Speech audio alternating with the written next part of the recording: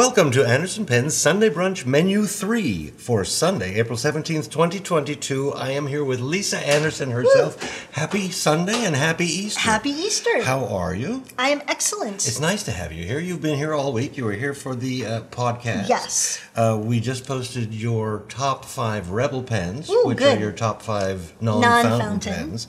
Uh, and today is Wink Wink Easter Sunday, and uh, we're not having a meal together. No. Because you're really not here on Easter Sunday, but your store in Chicago is closed. yes, yes, we will be closed. Closed. So what I'm, are you going to do on Easter? I'm going to sleep in, going to sleep in? and I think I'm going to take some coffee and go to the Bean. If it's nice, get some fresh the Bean air. in Cloudgate, I think. Cloudgate, yes. Yeah, I like Yes. calling it the Bean, but the real name is Cloudgate. I yes, and I will see if the Art Institute is open and maybe go there. I don't know if they're open, I but don't. they should be check. open because it's a good tourist day. Yes. Uh, whenever I go to the Bean, I have to touch it. Just, just You know, to it was recently vandalized. Uh, Yeah, there was graffiti. Yeah, it was terrible. They caught the person though. Yes. And I imagine it cleaned off nicely. I hope so. I hope so. I don't know why I like the bean. It's interesting. It's just And it's also interesting to see all the other people who are around it, like yes, in but awe. to go underneath is really cool. I like to walk through. Yeah. it. Yeah. okay. Yeah, You don't do that every morning on your way to work. Now when it's cold. I was going to say now that the weather's changing. Now that the you might be weather's able to do nicer. I can take the long way. But when it's brutally cold or raining or Now, snowing, by I long go way, you mean go down a block, go through the bean, and then come back up. It's Go not. It's not two miles out of over a way. block, across the street, through the bean, down a couple blocks, and then over, Over an the extra river, block. through yes, the woods, to barefoot Anderson uphill in the snow both ways. Both ways. Yes. That makes sense. Uh, for Easter this year, I got a bone-in ham, and I got that from Jacob's Meat Market. Awesome. And I said, please give me the smallest ham you have, the smallest bone-in. I like the bone-in. Okay, it's Uh, it's like four pounds. okay. So that's enough for the week, really. That's a lot of That's- That's a lot of leftovers, leftovers. Um, I don't know if I will do anything with the bone. You can You do make some soup or something? or something. Okay. But I I don't usually make soups. But if I found a recipe, Okay. I could do it. You could call I have, Robert. I, I have the potential of doing Yes. something with the bone. Plus, I, I do find that a bone-in ham tastes better. Okay. Oddly enough, I'm probably going to get sushi. Uh, sushi's a good choice. good choice. Uh, usually, it's your husband here with me. I Uh, know. and we tra- we trade a joke or two, but this time I just brought I some jokes. prepared. I am just going to give you jokes, but before I do that, I'm going to say to the audience, please like this video and consider uh, subscribing to the channel because Lisa really likes it when that happens. and since it's Easter, I think I have some Easter jokes. I think. This is about peeps. I don't know. Let's try this first Okay. one. What do you call a rabbit with fleas? Disgusting. Bugs Bunny. See, not really Easter, but there's a bunny in there. Okay. How do you get a letter to the Easter bunny? You write it. Hair mail. Oh my God. H A R E, of course. I get it. Um, what is your favorite Easter candy? That's not a joke. You're it's not a joke. me. I'm just asking. The Lint little Easter chocolate uh, Okay. bunnies that come in the gold, and if they have the dark chocolate, that's the one I like. Okay. Do you like those little weird peeps? Uh, are you giving me some? No, Then nah, I can live without those. I'm not a big marshmallow No, they're just little fan. balls of sugar. Yeah. Uh, so I, I I don't mind calories, but I want them to be tastier. Okay. After that, I have uh, uh, show and tell. Great. So What do you got? Uh, I have a newish acquisition. Okay. That I have mentioned a few times on the podcast. It is uh, a Vanishing Point. Yes. It is a limited edition, uh, special edition, the one of from 2007. That's really pretty. Uh, it, they called it the Orange Crush. That was the first year they did these annual. nope. I'm always dropping pens. The first year. Not so special anymore. The first Sorry, year guys. they did them. Uh, so in 2007, they made 2007 of these. Okay. Um, mine is number 1092. Oops, I've just given everybody my PIN for my debit card. Um, and they came in a very nice box. Those boxes are Came in a very nice yes. box. I love these. matchy matchy, and it's leather, orange leather. I don't know where they found the orange cow. Um, and so, of course, you never use the box because that will That one's away. a cool one. It is very nice, very nice, and uh, they've come up. They did the pink one in this box too. It was pink leather, but I don't know of any others that they did the leather box. No, I happen to have, this is not my most recent acquisition, but I have one of the um, limiteds as well. And this came in a light blue clamshell. Right, right. So this is different than yours. So that was very cool. but I just uh, Vanishing points are great. put some orange ink in it. Oh, nice. This is the Kaweco Sunrise Orange, Okay, as as uh, suggested by Steph. nice. Um, a very nice. Uh, I wanted something that matched, but wasn't screaming. It said orange, but didn't scream orange. Okay. That's, that's the one. Very cool. So that's what I brought. All right. Because that's just a cool pen, and I have a an orange leather notebook. Yes. That, that this is always on top of. Perfect. Because I, for some reason I like the colors to go together. Astonish me. What have you got? I have two You brought two? I never just do one. No. I never follow the rules. Um, so recently we've talked about um, my Fantasia, my Esterbrook JR Fantasia, which is so sparkly. Even I it. got one of those. I know these are beautiful. Now, this Ah. one isn't yours. No, this one is not mine. Mine um, actually is back in in my apartment in Chicago. Um, but I love the size, even unposted. Yeah, I don't think I post mine. I post everything Uh, unless it flops off. do you post your vanishing points? Yes, twice every time I write with it. Um, I just love the sparkle. I love the color, and Especially under these lights, that sparkle Yes. is really. I've never seen it sparkle quite like that. so you I'm just need to to- come here in this setup and use it. It look like I'm doing a piston. Yeah, don't do that. No, I don't post this one. I don't Okay. post it. Well, that's one of them. And I got the uh, the, the the very broadest, the stub. Okay, Stub on. I always get the fine. I like a fine. I, I usually write with fine nibs, but I wanted to see the ink coming out of that one. Okay. So And then uh, something that I got recently. Uh, this is the Pilot. I was Um, going to say that Stargazer. like stargazer. yeah. the, but actually, this is the Stella um, 90S. Yes. So this is the pre-version. the pre-stargazer yes. version. Yes, these were the Stella, and then uh, at, that is a cute pen. at some point um, they became the uh, Stargazer. I love these. I was sad. That is a slip cap. Um, I was very sad when they discontinued these, um, but I love the size. See, that's almost almost you have to post Yes. that one just to make it large enough. Yeah, love it. So, and it's got a little bit of sparkle, little I was shimmer. gonna- I was going to say that, but I, got a I- sometimes think I see sparkle where it doesn't exist. It's just the sparkle in your eye. yes. I like that it's a slip cap. No longer Quick available easy. though. No. So sorry, there's a little tease. Well, that's okay. This is no longer available here. You can sometimes find them. Yes. Anderson Pens once in a while gets one of these. We do. We get Um, all sorts of interesting things. uh, I didn't get this one from Anderson Pens. uh, well, you didn't have one when I was. That's true. You don't always have one. I know. You have had them before. though. Yes. Um, but that just. It took me a long look, time to find it. Syracuse colors.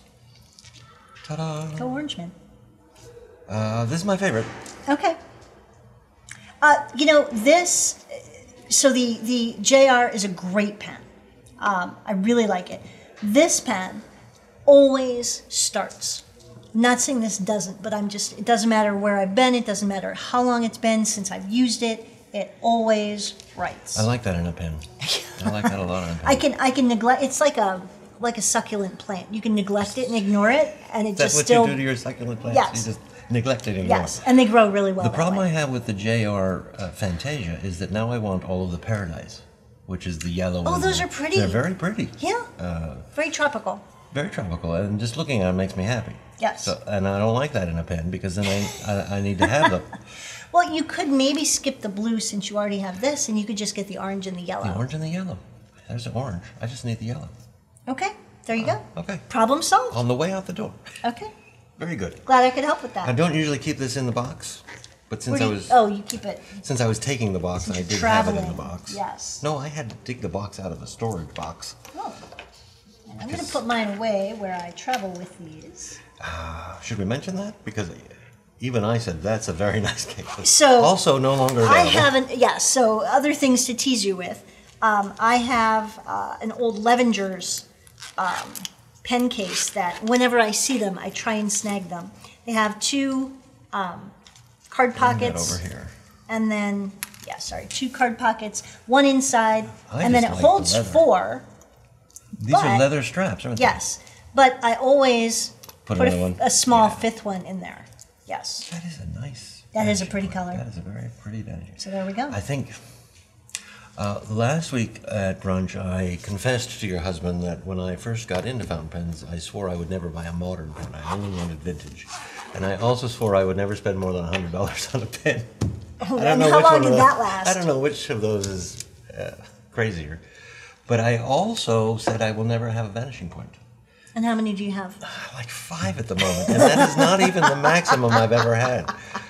Because I, my first thought was the nib is too small. I like I like a large nib. I like that's what I like about a fountain nib is to see the nib, and so that one just hides there. Right.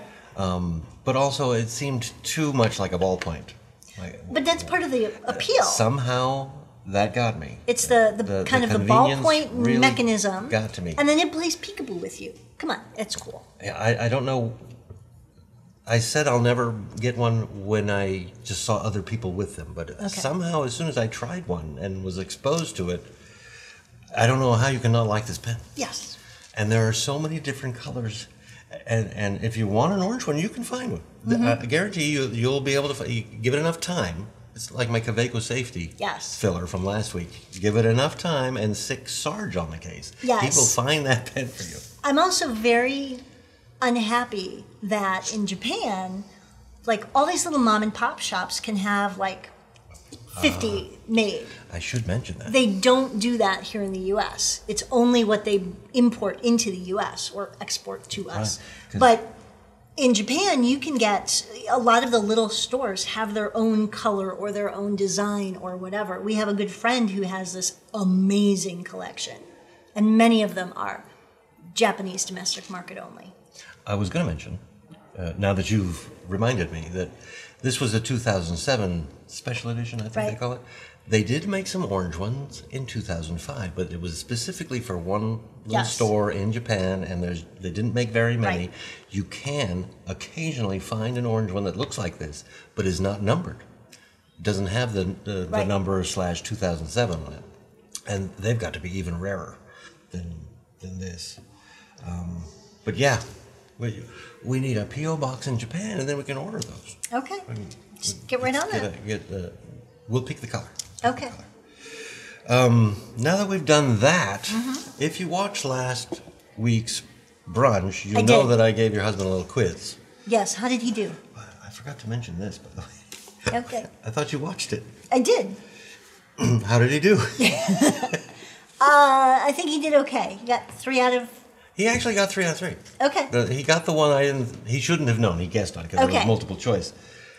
Excuse me.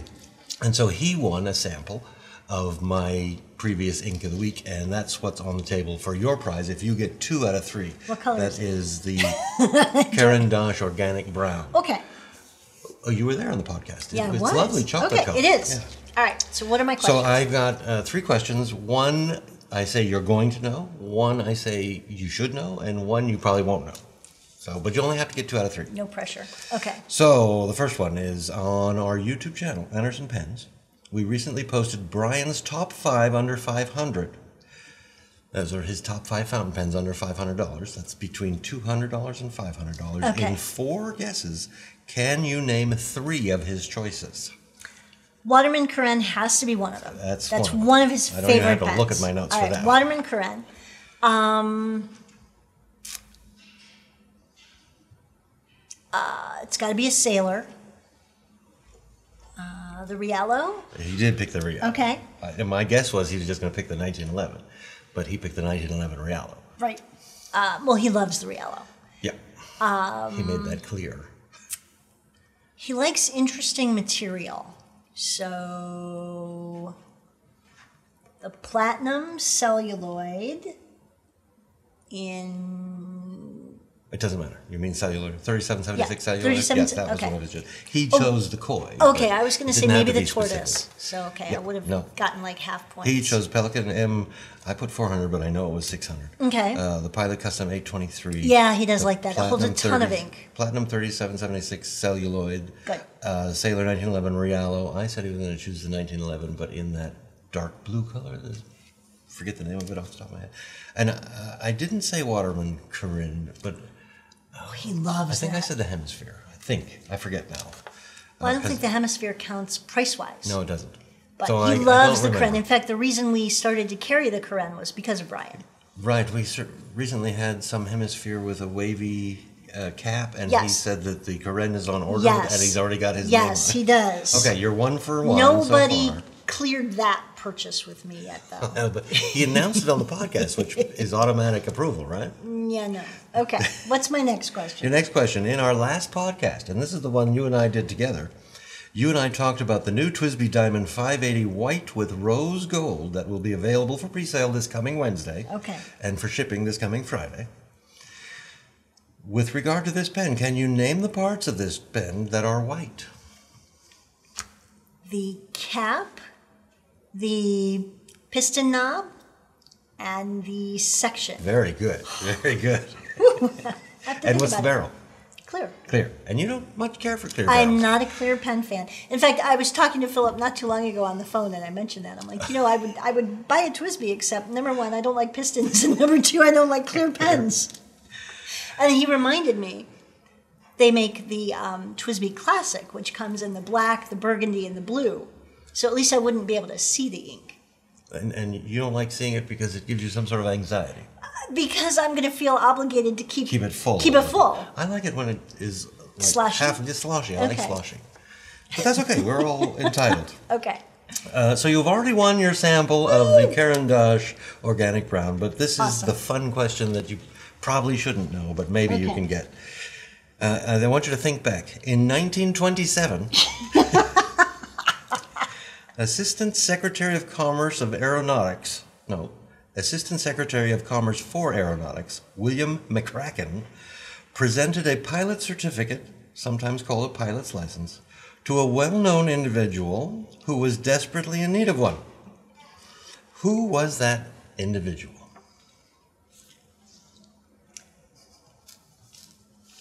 Amelia Earhart. Very good guess, but not right. Lindbergh. No. Um, Santa Claus. What? I know. I know. Well, what was he doing? He was flying illegally before that? Apparently so. But this time, uh, in 27, they gave him permission. Santa Claus went to the Commerce Department in Washington, D.C., sometime in November or December 1927, and received a pilot's license, airway charts, and assurances that the lights would be burning on the airways. I don't know what that means. The airways, how do they light them up? What would he have done if they denied him? I think this was something public, publicity-wise. Oh, I'll have, I'll have Justin show everybody a picture, and in the meantime, I'll show you a picture just to prove that I it actually did this. happen. Oh my God. I already sent you this picture in case you didn't notice. He looks so skinny. He must have been flying Yeah. on his own before? Don't know. So Interesting. All right, well, I- interesting. I did not something get I ran across and just Okay. thought it would be funny, and it was. It was, because I, I was thinking I didn't even look up the the years, but I was thinking uh, she's going to say Amelia Earhart Yeah. because that sounds like it. Sounds like it. Great, thanks for coming. No, no, no. Now the meat of the matter. We have some scheming to do. Okay. We're going to scheme about how to get a friend or loved one into fountain pens. This is somebody who isn't at all interested. Okay. Or, yeah, someone who isn't at all interested. Because a person who is a little bit interested, they're already interested. Why do you want to share? I want to share with everybody. Uh, I Okay. wrote down my notes. What, what's your number one tip, if you have one? In no particular order, maybe. Um, number one, start with something easy. It has to be no maintenance, no cleanup, um, super easy. And you could even start with a roller ball to at least get them into something better than a hotel or a cheap office bic. But once you go up from a roller ball, the varsity is perfect. Yeah, um, so you're talking about uh, gifting them something. Or, or making them buy Or loaning them Loaning or, or them. something. Yes, uh, Uh, letting them use your pens is, Yes. is on my list. Uh, first of all, I say talk about the pens. The more you talk about Yes, and show them. and show them, let them see you using it, uh, and and because when I talk about pens, I, I like to think I'm passionate about pens, at least enough to where it looks like passion. And passion is uh, infectious. Yes, So when someone talks to me about something about which they are passionate, if an architect talks to me about some project they're working on, I want to become an architect as soon as that conversation is over. And the same thing works with pens. Um, so I say talk about pens. Uh, Let them try it in a controlled environment. Well, you yes, don't just want to hand them a pen and walk away. You can hand them this, Yes. but uh, yes, if you hand them your very expensive gold nib pen, they need a little supervision Mm. Yes. if they've never touched one before. Absolutely. Because they, they, not every one of them, but people could press too hard on the nib. Well, and even on a varsity, you have the right side up and you have the wrong side up. And so in the store in Chicago, I see people all the time using it incorrectly. And, Oh, and if you don't use it in the correct way to start, then the experience is disappointing and sometimes completely turns you off. And so you have to at least help them get on the right track. And I, I give these to people when I think they're not really going to get into fountain pens. I think I mentioned that on a podcast. Mm-hmm. Or I'll give them a, basically a safari if I think Right. they are. That's not a safari, but that's, that's an upgraded safari. Well, Um, in in Chicago, I often somebody will come in and say, "Oh, I want a fountain pen." I if they've never used one, and it's just kind of a whim, I often will um, start them off with this because it's you know for three dollars, it's everything you need. There is no extra ink converter, whatever. It's everything you need. And so, if in two weeks they decide it's not for them, you haven't gone down this financial rabbit hole. Or if they lose it, Yes. which has happened. Or someone. Luke, he's not going to watch this though. Um, plus, they always write. Yes, varsities absolutely. They last for months they and have months. this this uh, not really a feed a collector in here. That's all around. It just gets all the ink in there. They always yes. Right. They're, They're very awesome. nicely and they come in a ton of different, well, seven different colors. That's a ton. yeah, that's, That's a ton. That's a ton. So that's a good starter. Really, really good starter. So yes, I have talk about pens, be passionate about pens, let them see you using pens, uh, gift a pen, um, and you had some others here. Uh, a Go, a Metropolitan, very popular pen. Mm-hmm. Yes. Very popular. People love that pen. And A a, Preppy. Preppy. I had a Preppy here last week. So, you know, the varsity is, um, in my opinion, the easiest because it's everything you need. You can just walk away with this and you're ready to go. Um, the preppy is my next option because um, once it starts, once it actually um, has the ink down to the nib, it writes like a champ. It, Yeah, that's another one that has a collector type Yes. feed with uh, all the fins all the way around. Yes. So once the once that is filled with ink, it is always a writer. it's a great writer. The cap snaps on, so you, you always know whether or not it's sealed. Um, great little pen, also very inexpensive. And so, again, I'm always trying to emphasize um, a low entry point. entry point. That would be these two. Yes, absolutely. and then from there, uh, and again, the, the trick is just put it in their hand and let them play with it Exactly. and just reinforce it. Doesn't need a lot of, you don't have to be perfect, and your handwriting doesn't have to be perfect. A lot of people think, well, I can't use a fancy pen because my handwriting's bad. Oh, yeah. No, doesn't have to be perfect at No, all. not at all. I'm a Yours is perfect very nice though. This is this is lovely. It's fine. It's fine. That's it's fine. Oh, go on. um, but no, these are these are two really great options. And again, if it's somebody who just is maybe considering it for the first time, I'm a big fan of not going too deep too soon. That which would be these two. Yes, absolutely. Yeah, I agree with that. And that's if uh, these these are so inexpensive, you can give them to anybody you want to try and get into fountain pens. Including Luke, who lost one. Uh, the same day I gave it to him. Oh, no. Same day, and then he wouldn't take another one. I, I tried to give him another one because I Did he put it in his apron and wash it? He put it it? in his apron and then it disappeared. oh my gosh. I don't know. I don't know. At least that's what he says. Okay. But uh, I don't know. Um, I like to, uh, when you give somebody a pen, encourage them to try. They don't have to write cursive.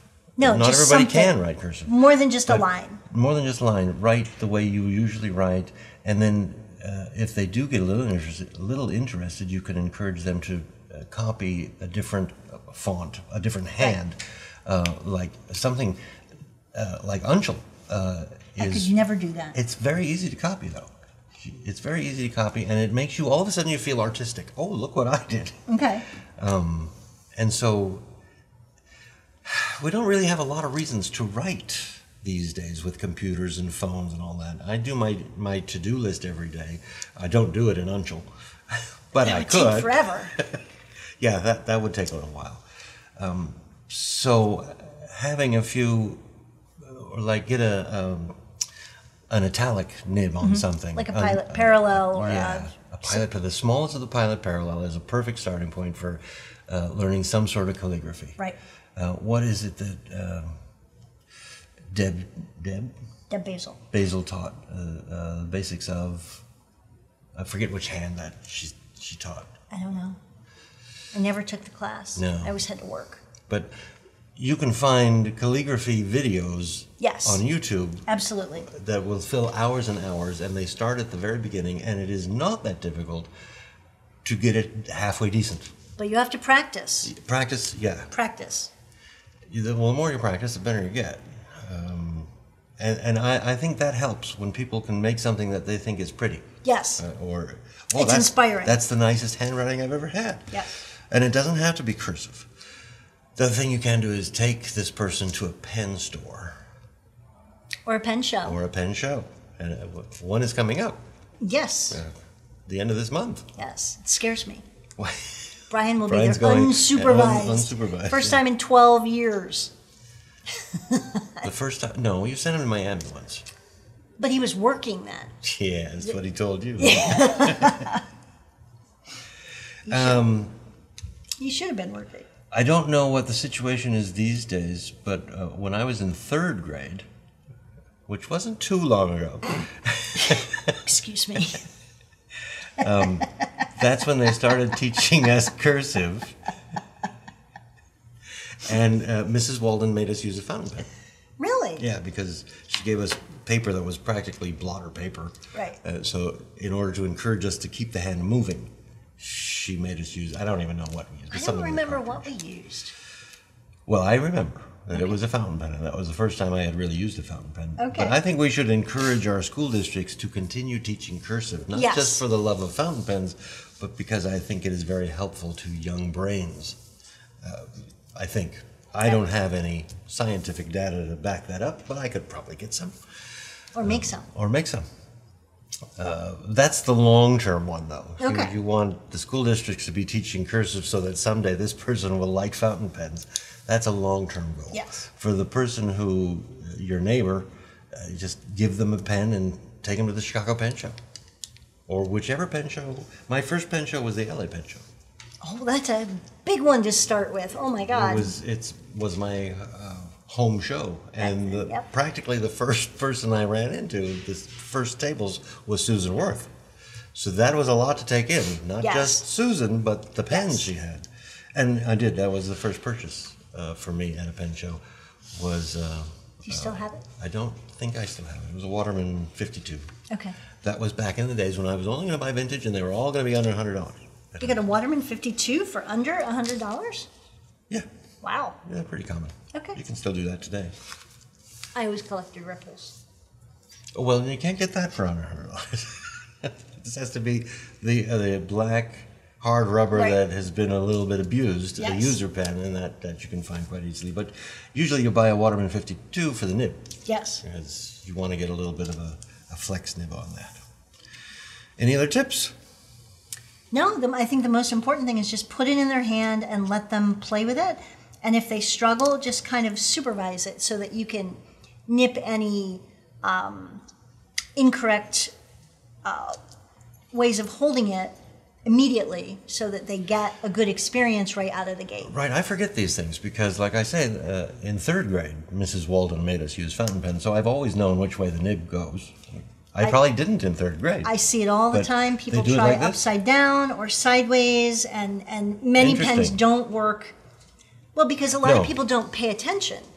Um, one of the reasons that I like the Lamy, either the Safari or the All Star, is because it has the triangular grip, which forces you at least to get the nib lined up better on the paper. And so you immediately have a better result. right. And if they get a better result right out of the gate, then they're like, "Oh, look at me! I can, I can do whatever." I'm an artist. Yes, That's absolutely. Really, that's how I feel I when I'm writing with a fountain pen. Oh, I I'm an artist. all sorts of interesting doodles. Uh, and I hadn't thought of starting with a rollerball, but that that is kind of the same feel. It's a very It smooth. is, especially if all they've ever used is a ballpoint. You know, your standard hotel bic, your cheap office supply cabinet pen. A rollerball gets you into that. Ooh, this is a smooth Yeah, it's a completely different feel. It's absolutely a gateway drug. a gateway drug. Absolutely. Rollerball. And Safari makes those too. Yes. Rollerballs. Yes. And they also make ballpoints Yes. and pencils. I understand. They do. Yeah. Uh, so uh, we're probably missing a few things, some really good ideas. So I'm just going to ask people to write in the comments good ways of getting people into fountain pen usage, uh, because that's that's it for my list. what I do is I give people pens. I just here, take it, take it, and I'll hope that they get into fountain pens. But uh, watching them and, and getting them to learn a new hand. I find that to help, but you have to get to the point. You can't just say, "Here, take a pen and let me show you this hand." Give me an hour of your time. That doesn't always work. I spend a lot of time with people. Here, put that in your hand. Pretend you don't know anything. Beyond that. Not quite that little. But, okay, so you need to turn it, and then they'll write, and you watch them write, and you, you know, you make adjustments so that they can see the difference if they're writing, let go, oh, sideways, and it doesn't work, then you fix it for them. Some have a very, Yeah, some people write um, way up. because that's how you write with a ballpoint. Yeah, this is more of a ballpoint. Yes, and so you try and I, I always joke with them and say, okay, you got to loosen up a little. Just yeah, loosen up. These pens are so nice. I can I can hook you up with. Can you hook me up? I can, yeah. Well, maybe you will. Maybe something I else. I have to get on the way out the door. I forget what it is already, but J- Justin will will. Uh, yes, I almost said Oh, Jason. you're- I'm sorry. well, I don't know where that comes from. Wow. I am getting older, you know. Hey, look, I turned red and everything. um, You were going to get um, three JRs. Oh no, just the yellow one. just the yellow one. I'm the one who's telling the jokes here. All right. Uh, so what about other pens? So I like the Safari because it has a tr- triangular grip. And part of converting someone is making sure that it's more than just in front of you. The pen or the nib? using the pen. Yeah. It has to be more than just, oh, okay. They have to be able to know what to do when they get home. So, uh, a lot of people like the um, Pilot Metropolitan Extremely popular. because it's a little heavier. It's got it's metal. Um, what I like is it comes with the converter and a cartridge, so you have everything you need. I'm a big fan of a whole package. That's this one. Well, it has everything you need. It Take just the open cap and go. off and go. Right. But you know, your next step up is cartridge and converter, and at least it gives you that option. You learn how to use a cartridge, how to use a converter. Same thing with here if you buy the converter. I like that this actually comes with the converter. And then from there, your TWSBI Go. Yeah, I think the price points here are this. Where does the TWSBI go in? I think it's 18. Yes. So that's the price point. Yes. Um, this one is the only one in this group that is um, bottled ink only. Right, because that's a. which gets a little more complicated for newbies, but Unless they like that. unless they like that, or if their sole purpose is to use all the zillion different colors of bottled ink, because that is half the fun, That is. um, or a shimmer ink so you can see it sloshing around in there. Well, if that you get the 580. But yes, if I'm going to. I do think that giving someone a pen gifting a pen Yes. is a good way to get them into it. And I will either give them a varsity if I think they probably won't get into it, or a safari, not not an all star, but a safari, uh, because of that. They're they're inexpensive, but they're still nice, and I like that triangular grip because it, it does make you hold the nib where it should be. Yep. And then do you let them come back to you if they're having issues? No, I say or- never speak to me again. Get out of here, I can kid. see you bother me. No, I mean, for you. hopefully you become lifelong friends because Yes, of, of fountain pens. I always make sure that they have, um, you know, if you're not just doing a varsity, which has its own ink for months, make sure that they have an extra converter or an extra cartridge so that when you're done with the first one, you've got something else to try. Yeah, and you have to turn them onto paper too. Yes. a- uh, paper can make a big difference. Absolutely. There's a world of pens, there's a world of inks, and there's a world of papers. Yes. And and it, if you get into it, it's very fun because it's non-ending. The other thing you can do that we haven't mentioned yet is if you have one locally or even not too locally, pen clubs. Yes. Now I know we probably got away from pen clubs during the pandemic, uh, but they're probably coming back. They are. I know um, That usually in- includes a beer or something. So the uh, the Denver Pen Club and the St. Louis Pen Club both did, and I'm sure others did, uh, a lot of virtual Virtual, meetings. yeah. So they kept that sense that's of difficult community. to get a newbie. Yes, uh, someone yes. you have to kind of be there because when you get a long table of a, hun- a bunch of people Yes. who not only love fountain pens but are sharing their fountain pens, that is impressive. Yes. I have tried lots of And pens that I've never been able to. complicated and, and noisy and chaotic. Yeah. So if you're brand new, it's easy to be intimidated. Um, whenever anybody comes into the Chicago store, I always ask where they're from. And so many people are from a city that either has a pen show that they've never known about or they're nearby. And so Well, I always over the tell country, them, yeah, really. I mean, oh, you're only two hours from a pen show. It's Right. usually in whenever. Two to three hours is is Driving. not too far for a pen show. Uh, they're worth the two to three hour drive. Are you driving If you're three gonna- hours if- to go to if- Chicago? If you're going to spend the night. Are you going to go? I haven't made a reservation yet, Okay. but I won't be there when Brian's there though, so I can't supervise him for you. Sorry. Sorry. I was counting on that. I have more jokes for you. Oh, oh, okay. We're going to end this with two more jokes. Okay, I'm ready. Uh, I have to remember which ones did Hit I me. tell you? What do you call a row of rabbits hopping backwards? Drunk? A receding hairline. and this Why can't Brian tell those? this is probably my, my, my favorite for Okay. some stupid reason. What do you get when you cross a rabbit with a shellfish? The oyster bunny. Isn't that terrible? That is so terrible. I just like it so much. That's it for this week. Um, we'll be back next week with uh, Mr. A- Anderson. Anderson Pens Sunday Brunch Menu 4, where Brian and I will discuss nail, hair, and skincare for men over 50. no. It says just kidding. Uh, next week, uh, uh, appropriate. be interesting. Will be how to navigate a pen show. Oh, my And this will be the Sunday before he's actually going Yes. to the Chicago Pen Show. My best advice. oh, we're gonna Comfy start early. shoes. We're going to start with mine. Comfy shoes. Seriously. Comfy shoes. Do not bring a big backpack um, or anything heavy, a big giant purse or a big backpack. It's going to get in the way. Um, and stay hydrated because you're going to be drooling or asking a lot of questions. Or both. Or both. This is going to be interesting because I have been to many pen shows and I, I probably haven't thought about it, but I could probably have some tips on how I like to navigate a pen show. But Brian and you, but you won't be here for next week, Nope. uh, has gone to many pen shows previously as a pen show attendee and has been to many as an actual vendor who probably has completely different other different insights. Yes, yes.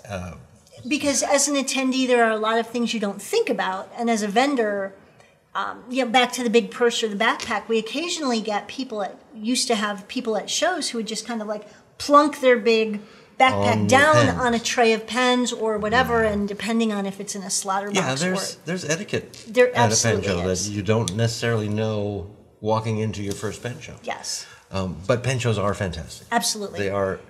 We'll, we'll talk about it next week, but they're mostly social events. They're mostly They are. They're fun, and it's the best place to um, see all sorts of things and meet all sorts of people. All sorts of people who all like pens and see pens you'll never see anywhere else. Of course, I never did find a Kaweco safety filler at a pen show in the United States. But you have one. I have one, but that's only because Sarge. I think he found it in Poland. So that's it for this week. Um, happy Easter, Easter. and I will see you next week. Bye. Bye.